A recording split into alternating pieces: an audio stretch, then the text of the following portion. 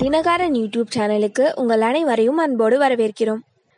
இன்னைக்கு நம்ம பார்க்க போகிற வீடியோ தொகுப்பு எதை பற்றினா அசர வைக்கிற அசுர வேக ராக்கெட் விமானம் திட்டத்தை பற்றி தாங்க சர்வதேச அளவில் அன்றாடம் ஆச்சரியப்பட வைக்கும் பல்வேறு தொழில்நுட்பங்கள் அறிமுகப்படுத்தப்பட்டு வருது. பயணிகள் போக்குவரத்தில் நேரத்தை மிச்சப்படுத்தும் வகையில் புதிய தொழில்நுட்பங்களை பயன்படுத்தி அதிவேக ரயில்கள் அதிவேக விமானங்கள் மின்னல் வேக ஹைப்பர் லுப் வாகனங்கள்னு உலகம் அதிவேகத்தை நோக்கி நகர்ந்து கொண்டிருக்குது.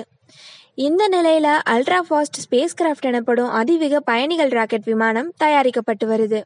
இந்த பயணிகள் ராக்கெட் விமானம் திட்டம் செயல்பாட்டுக்கு வர அதிக நாட்கள் ஆகாதுன்னு முதலீட்டு வங்கி நிறுவனமான யூபிஎஸ் அறிக்கையில தெரிவிச்சிருக்கு.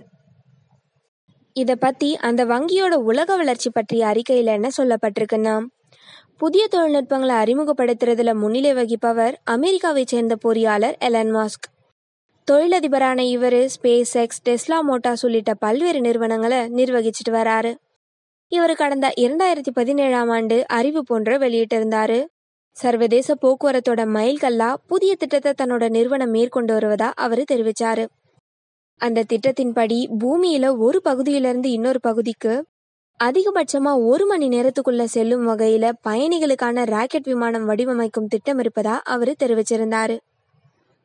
இந்த திட்டம் செயல்படுத்தப்பட்டா புதிய ராக்கெட் விமானம் அதிகபட்சமாக மணிக்கு இருபத்தி ஏழாயிரம் கிலோமீட்டர் வேகத்தில் செல்லும்.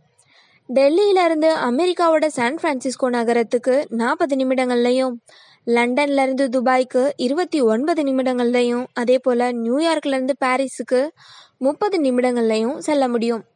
இந்த திட்டம் எதிர்காலத்தில் செயல்பாட்டுக்கு வரும் எனவும் இதன் மூலமா இவ்வகையான விண்கலம் வான் போக்குவரத்துல ஐந்து சதவீதம் வரை இடம்பெறும் எனவும் தெரிவிக்கப்பட்டிருக்கு.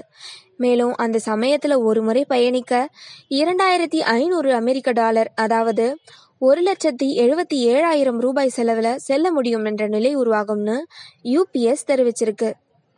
இது போன்ற தகவல்களை மேலும் அறிய தினகரன் நியூஸ் சேனலை சப்ஸ்கிரைப் பண்ணுங்க. நன்றி.